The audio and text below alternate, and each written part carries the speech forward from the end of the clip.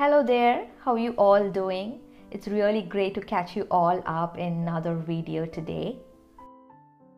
I usually meal prep every Sundays. Since I have my very own business to run, meal prepping is a lifesaver for me. So I just thought I would share that with you all in today's video.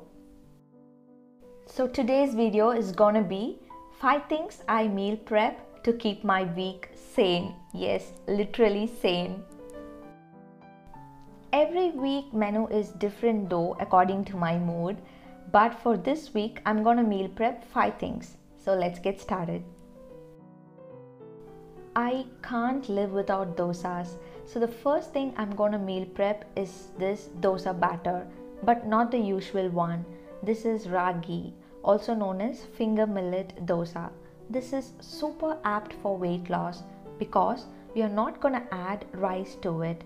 Just one cup ragi, finger millet, quarter cup of whole urad dal and 2 teaspoon fenugreek seeds.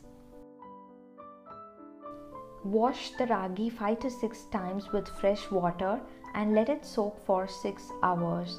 The reason why we want to wash the ragi millet well is because there'll be a lot of dust in it, so you have to wash until the water runs clear. Let the ragi millet soak for 6 hours. Meanwhile, let's prepare other things. I'm gonna use mixer only to make this batter. There is a trick in it. I'll let you know when I make the batter, okay?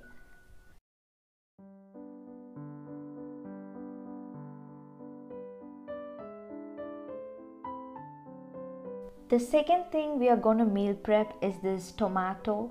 In Tamil, we, we usually call it tokku, but for you all to understand, let's keep it as tomato gravy. Okay, it goes well with rotis, rice, idli, dosa. Just one dish, but it pairs well with literally everything. Trust me, it tastes absolutely delicious. I have shared this recipe with all my non Tamilian friends, and they all just loved it. It requires just minimal ingredients and it's absolutely beginner friendly recipe plus stores well in refrigerator for about a week. Peel some 6 to 7 cloves of garlic and chop and puree 6 to 7 tomatoes. Do not add water while puring the tomatoes. To the pan, add a good amount of oil. I am adding quarter cup of sesame oil. You should make this with sesame oil only. If you don't have, you can use sunflower oil instead. Crackle some mustard seeds and cumin seeds, then add some curry leaves and garlic to it.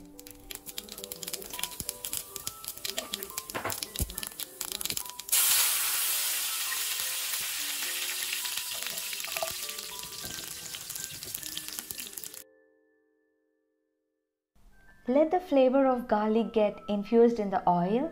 Saute for a minute. Then we are, then we'll be adding the pureed tomatoes to it.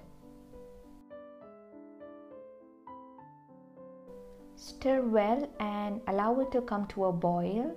And once it comes to a boil, we'll be adding the spice powders to it.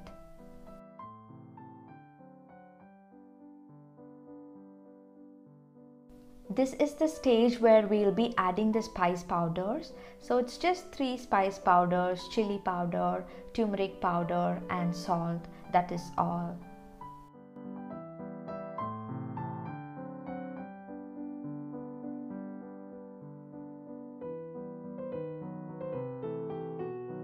You can always add the chili powder according to your spice level.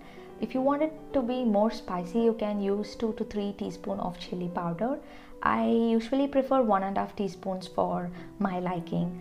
And then you're gonna simmer it and allow it to cook for 15 minutes and this should be on low flame.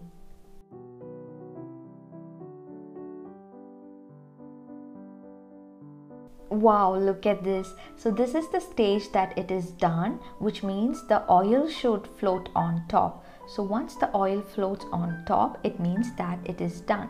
You should get exactly this consistency.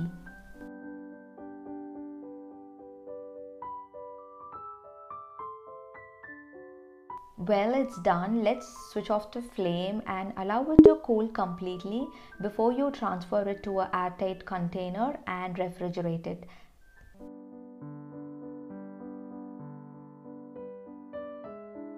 It stores well in the refrigerator for 7 days because we are adding sesame oil to it and it goes well with rice, rotis, idlis, dosas and trust me it's so so delicious if this is something new to you, then just give it a try and let me know how it was. The next thing I'm gonna meal prep is going to be some protein. I'll be preparing some chicken burger patties. I already have a recipe for it and I'm gonna be linking the recipe up here and also in the description box. There are two options. One is veg option and other one is non-veg option. So you can try both of it and it it literally tastes good. And you can grill these patties and add it to your burger buns or your breads or even you can make a salad out of it maybe like a burger bowl. So i have a recipe for a burger bowl here. You can just take a look at it. And yes i'll add that in the description too the next thing i'm to be meal prepping is some potatoes. It's just that i'm to boil some potatoes and just store it in the refrigerator.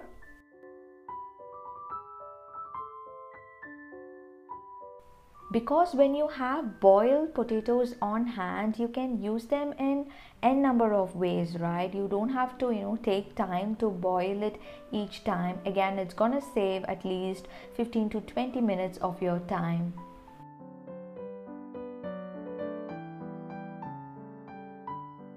Allow it to cool completely and store it in an airtight container and just put it in your fridge.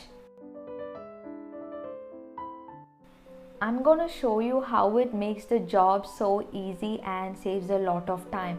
I'm gonna be making aloo sabji, a simple aloo sabji. So I'm adding oil to the pan with some chili powder, turmeric powder and salt.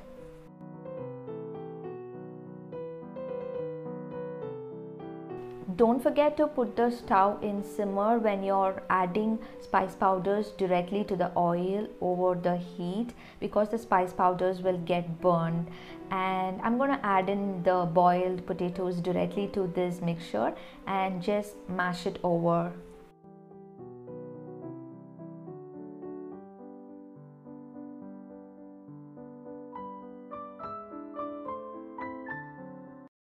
just give it a good mix and finish it off with some pepper powder and some coriander leaves.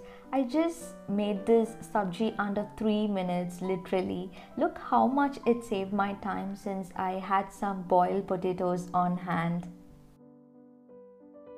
I know this is just a simple task boiling potatoes, but it can be a lifesaver when you are in a hurry. You can make chaats out of it, you can make aloo tikkis, and the options are endless.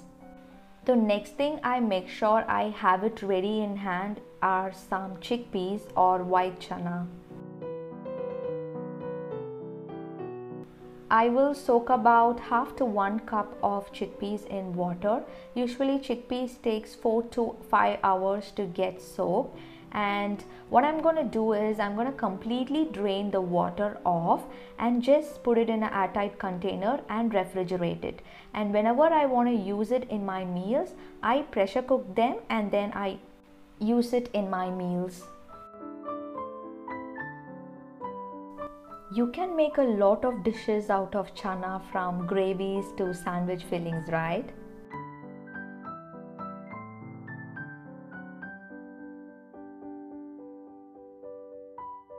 And that is all. Now we have got our soaked ragi finger millet ready to make it into a batter. Put them into a mixer with some cooked rice, say like 1 to 2 teaspoon of rice and grind them using some water to a smooth paste. Just put the mixture little by little and grind it with some water. say like you would be using half a cup of water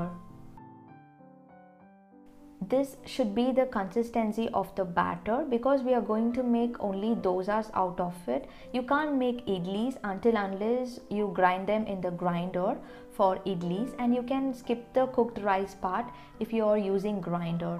Add some salt give it a good mix and let it rest overnight before you make dosas. So i usually grind them at the night and just leave it all over the countertop overnight and make dosas next day in the morning so these are the five things that I meal prepped this Sunday to keep my coming week sane.